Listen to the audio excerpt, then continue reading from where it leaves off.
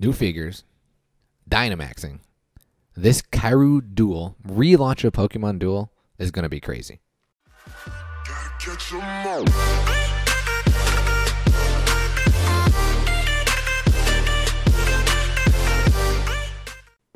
What's good? It's your boy Rico. Welcome back to another episode of Kaeru Duel. We're gonna start saying Kaeru Kaeru Duel because that is what this game essentially is called. It's not Pokemon Duel. It's Kaeru uh, Duel. Well, actually, we're, we're just replaying Pokemon Duel anyway. Um, last video, Pandemonium stated this. The part I'm more concerned about is how they're going to, or how they're growing, yeah, how they're going to create new content for the game, new Pokemon that are not in the game. So last night, Rob, myself, Shutterbug. Shutterbug is the guy who is doing all the coding or fixing all the coding. Um, we had long discussions last night, and it was very fun. We were just talking about like this game and the development of this game and what we can do to to move forward. So I posed this question, and this is what Shutter has said. And the only reason why I took a screenshot is because there's a plethora of comments, and I could not, I did not want to sift through all of the comments just to show you guys the conversation because, like I said, it was long. Um, but what he said is we have two solutions really: implement fan-made designs, create new figures, but using existing models. So get this. What if? it, it, I mean, it's gonna be hard for us to say Urshifu, for instance, right? Urshifu's in Gen 8 how do we bring Urshifu into Pokemon Duel or Kaeru Duel? We can't. We can't use any sort of design that you know resembles Urshifu. Uh, as far as attacking goes, figuring out attacks and ability, I'm sure we could use it, but that's when we run into copyright infringement. So, what I'm assuming is going to happen is let's say we decide to do, I don't know, a bug Eevee or a dragon Eevee. So we'll kind of release it. We'll be like, hey guys, we want to see which one of you can make the best dragon Eevee. And then you guys might probably get full, um, what is, what, what's the word I'm looking for? You guys get full control of the MP, the attacks, the ability, the design, the will. Like, just think of that. It's going to be insane. And then also, uh, what Shutterbug mentioned last night is he was saying, he's like, maybe I should make a certain rarity for or uh, each rarity for each figure, and I was like, bro, you just you just opened up a can of worms. First of all, Pikachu des- deserves an EX, okay? And that Pikachu's EX for me, I would design just something similar to Mew. Uh, anyway, my mind was going everywhere. I'm like, wait a minute, wait a minute. We can have two Pokemon, the same Pokemon, different abilities, different move sets, different rarities, man. I was like, Shutter, I don't know if you know what you started, but my mind uh, was going crazy. Uh, so there's that. That's something uh, to look forward to. We also did talk about rebalancing every figure. And the last thing we want to talk about is Dynamaxing. And the more that I think about it, actually, the more I kind of don't want to see Dynamax. Because what does Dynamax do in the main series? Uh, your Pokemon gets bigger for three turns. Your health is doubled. Your damages is increase. and the most important thing I think is boosting. What does Megas do? Well, I mean, Megas boost. They increase damage. They increase MP sometimes. Sometimes they make your blue disappear. I mean, like I said, the more I'm thinking about it, I don't really want to implement Megas in this game. But it's part of Pokemon. But the thing is, this is Kaeru Duel. This is not Pokemon. But I don't know. Uh, that's just, those are my thoughts. But please let me know in the comments below what would you guys do to make Dynamax work with the Pokemon Duel mechanics. Please let me know in the comments below. Um, and like always, I do have something to show you guys. I have two, no, I have one match to show you guys, uh, and it's just gonna be like old times. I'm back. The cheese is here, and you guys are gonna see. But first, we're gonna jump into this match, and all I want to do is just, I just want to show you guys, uh, Shutterbug, Shutterbug 2000. He is the one who's doing all the coding. And take a look at him. He's got the dev mask. Do you guys remember that? That's all I really wanted to highlight. I don't remember what happened this match. I think it froze. Yeah, it froze here. Uh, looked pretty evenly matched, but all right, let's jump into the one match that I do want to show off. Aries, what are you doing? What's wrong? I fed you. Aries is looking at me like he wants food. I fed him. I gave him treats this morning. Every morning he comes up. We go back there. I give him treats. I make him do tricks. Sit, lay down, paw, up where he jumps in the air, and he gets his treats. And then I feed him. And now he's meowing at me like I don't feed him. All right, anyway, let's see. Uh, rip to uh, my boy here, ST, and a bunch of numbers, because uh, I got double good bite. Feels good.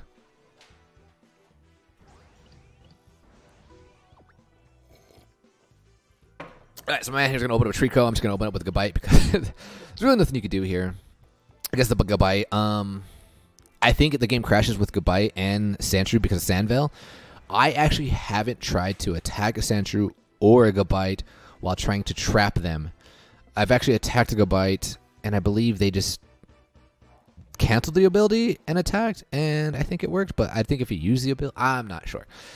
All right. Anyway, what I'm trying to do here is I'm taking a look at Aipom, and I'm looking at his ability run off, and I'm like, hmm, I'm gonna try some. Uh, I don't know. I don't want to say cheese because it's not. I'm not gonna win. I'm not gonna KO anything, but I want to try some cheese here just to to see how this ability functions because I've never done it before. So that's why I moved him up to next to the Heracross. I'm trying to set him up. I think I want to put the other Gabite right behind it. Uh, but the, the only reason why I even rushed there, I was like, I dare you to attack me with your Heracross because you're going to land the over Talos. I'm going to land anywhere behind you, and that's going to be GG Boys. But STV. 13579. It's smarter than that. So I was going to move up the. I don't even know what this thing's called. Shinx? Yeah, Shinx. Okay, perfect. Blind. I forgot what blind does. I think it makes you gain weight. Wait, why do I counter here with Gabite? Probably because he out damages the uh, the Fletchling and so take a look at my I don't even know what it's called. What is Jynx little form? This thing right there? Yeah. What is this thing called? I know it's a psychic and um See, I'm already telling him I'm like, hmm, I wonder if this ability works. Um, but I don't know what Jynx's little form is called. But it is ice. It is psychic. So there is some cheese to be had there. Uh, STV pulls a good switch here. I like it. Now I can't do well, I guess I still can, but uh, Treecko just destroys this Aipom, so things are not looking good for me, but I'm still going to try the ability regardless. And I am trying to think who I want to put here. I put Blastoise here just because Blastoise hits harder. I mean, I know I have a huge purple, and he's got gold, but I just figured Blastoise, or not Blastoise, but uh, yeah, Blastoise would be the best, uh, the best Pokemon here. Uh, and then Steve, I want to say Steve, I don't know why, but STV is going to X attack here. Um, and of course, I'm gonna roll miss, right? I'm gonna roll miss. Oh, by the way, can I show you guys this real quick? So when I played Hero the other day, I rolled three misses in a row with Metagross. Metagross? What the? F- Metagross? Jesus. And he said that was one out of 13,824 chance. And uh, I believe it. And who do you guys think could even fathom achieving that feat? Of course it's me, right? Of course it's me because I'm gonna miss three times in a row with Metagross. Get out of here. Anyway, uh, what am I looking at? Sweet Kiss confuses, and then the lick paralyzes. Which I need to be careful about because it'll crash the game. Um, I started advancing it just because I want it on their side of the board, especially when uh, my Z moves up. I don't know. Maybe I shouldn't have moved up so early. But, I mean, Drowzee isn't really threatening to me. I mean, he could put me to sleep, I guess. And confuse me, which is, yeah, it's a problem, but it's a risk I'm willing to take. And the Drowzee's not really doing anything in this, in the corner. So, what do I do here? Blind. Oh, moves one, two steps back. This Pokemon was one, two steps back. So I think I just. What do I do here?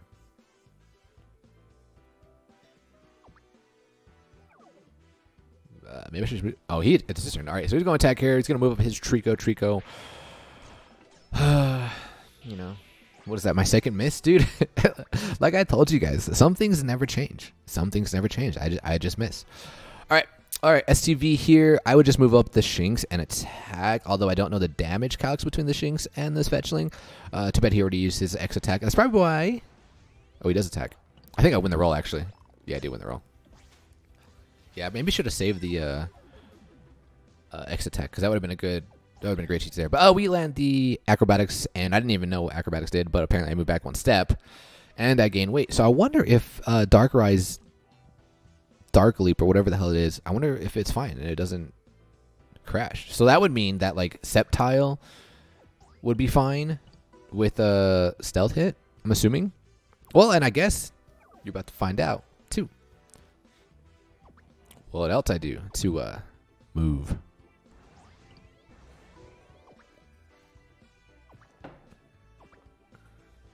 All right, so here, thought about. Oh, I X attack here. I X attack here. I think this is a good play. I either out damage him, tie him, or I get overhead toss, or he'll roll a miss and I'll land sand attack because that's that's right because that's just what happens. Smoochum. That's the name. Smoochum. I don't know why I'm looking over on this screen. I'm sorry. I moved the camera right here. Okay. Um Is it their turn? I think it's their turn. Can't really attack the Treecko. I don't like it. Okay, so now I just want to stop here for a second. I know my Z gauge is coming up. I know my Gabite is in a vulnerable position to get surrounded by one MP figure. That's going to take like three turns. Anyway, I decide to bait him there. The reason being because I want my Z gauge to move up all the way. I have a Smoochum. What does Smoochum do? Smooch, I mean, what is Smoochum's typing? It's ice, it is psychic. I want to do some psychic cheese. I can't do some psychic cheese because he's not going to allow me to advance up on the board and, you know, land on the gold GG boys. But what I do see is a surround set up here. So I'm baiting this Drowzee to come right here. I'm going to attack with a Smoochum, like I'm going to move the Fletchling, obviously. Uh, the, the goal here is to land the Psychic Z move and then surround the Treecko. Let's see what happens.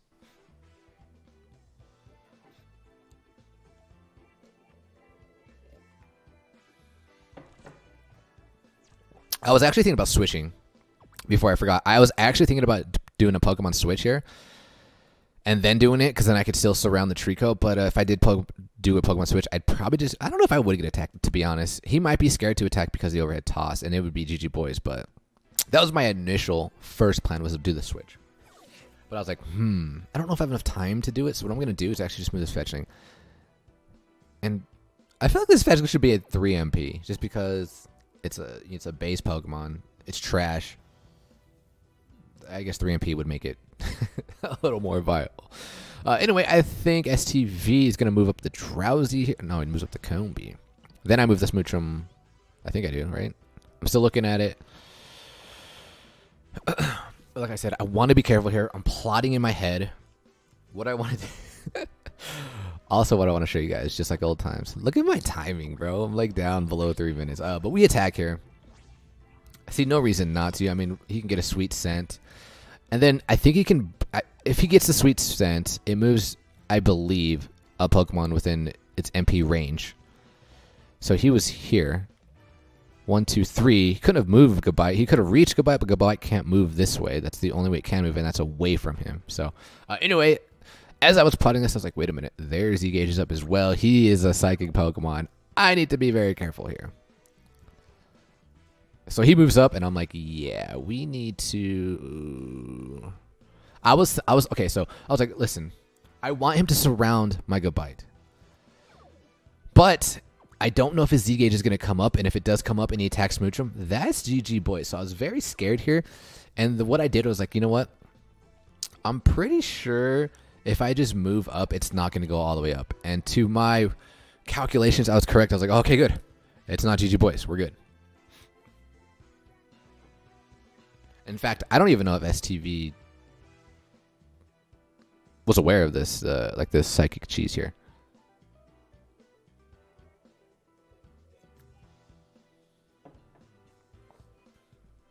So he moves on, takes my goal, and ends the turn. I believe I was like, all right, perfect.